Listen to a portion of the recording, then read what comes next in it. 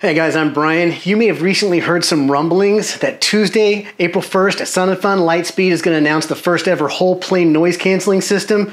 Um, a couple months back, they reached out to me and asked me if I'd be one of the guinea pigs that would help test it with my airplane. I said absolutely. Um, I love my Lightspeed Zulus. This is my favorite headset. Uh, but if this system works the way they say it's going to work, we may not have to use these anymore. Let's get to the airplane.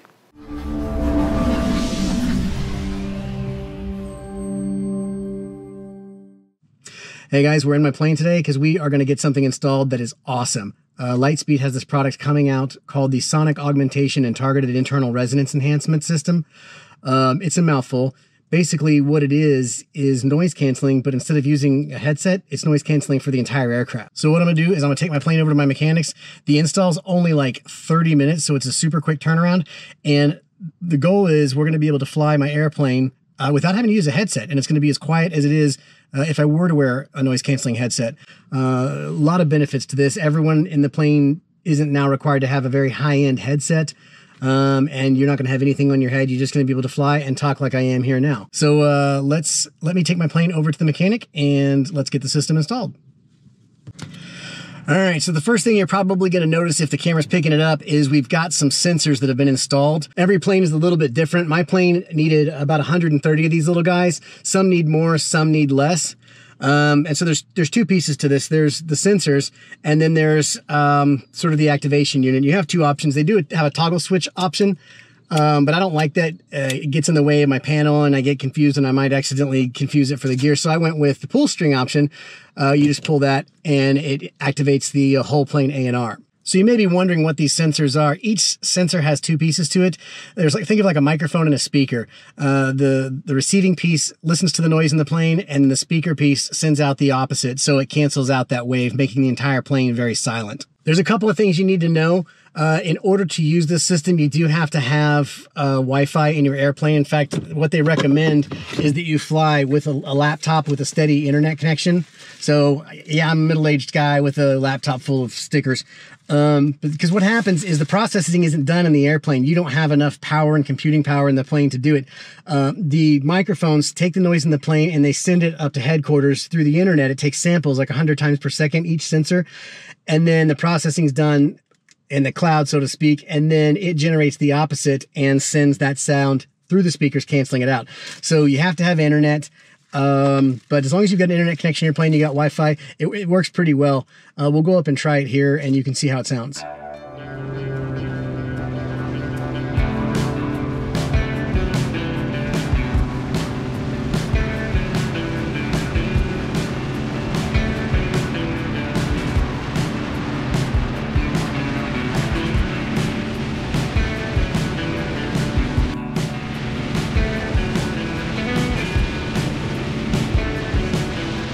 All right, so I'm definitely in the airplane right now, actually flying.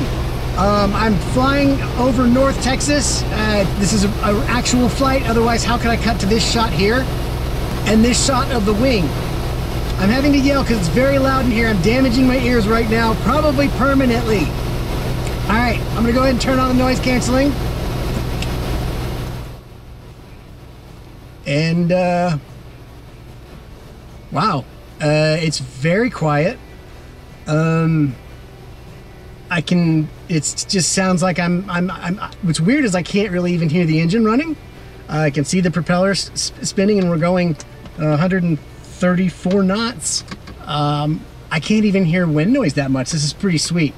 Every once in a while, you'll get in a situation where one of these sensors will uh, be a little bit loose. That's okay. The reason there's so many of them is sometimes they fall off. That's fine. Uh, it's a very redundant system. I am now getting a little bit of noise just from right there uh, where that, that one popped off. I think if a lot fell off in a, a, cluster, you'd probably get a lot of sound coming from that that direction, but it's fine. That's, that's why it's designed to, to be there.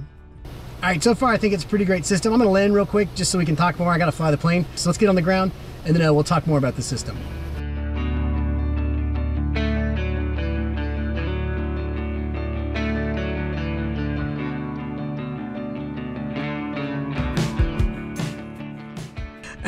So one of the questions most likely going through your head is, Brian, the plane's already full of sound, and now the system is piping more sound into the plane. The plane can only hold so much sound. There's only so many cubic feet of space in here. What do you do with the extra sound?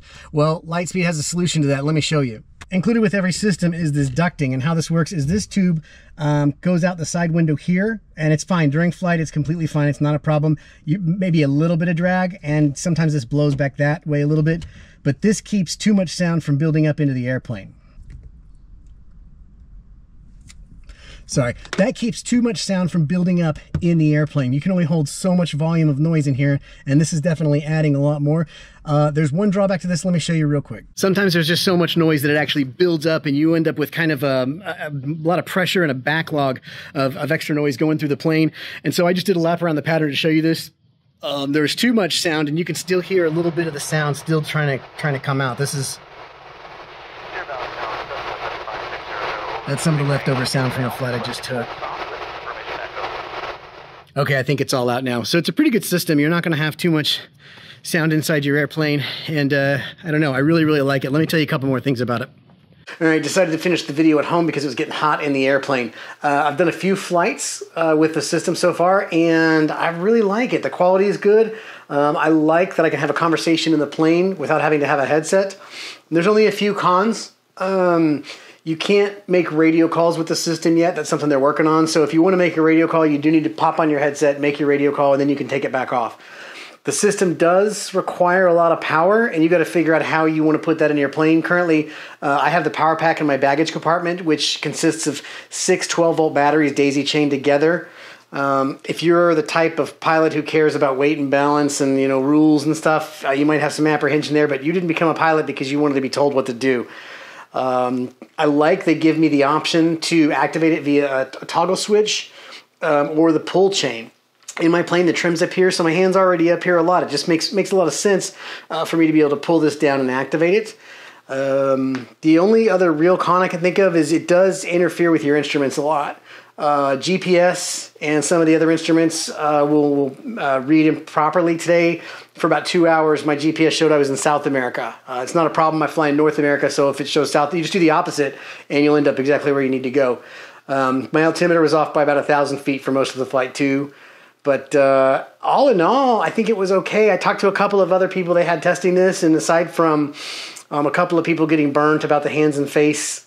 It, it seems great, and when testing a new product, there's there's going to be challenges. So. Uh, anyway, I, I, think it's good. Uh, I'm excited. They're supposed to be announcing this at Sun and Fun April 1st. April 1st is real important to remember with regard to all of this. Don't bug Lightspeed about this at their booth at Sun and Fun. So anyway, it's a great product. I think everyone's going to enjoy installing this in their airplane and flying around, not having to wear headsets anymore. Uh, I hope to see you guys at Sun and Fun. I hope you guys had fun with this video. You guys fly smart, and we'll catch you the next one.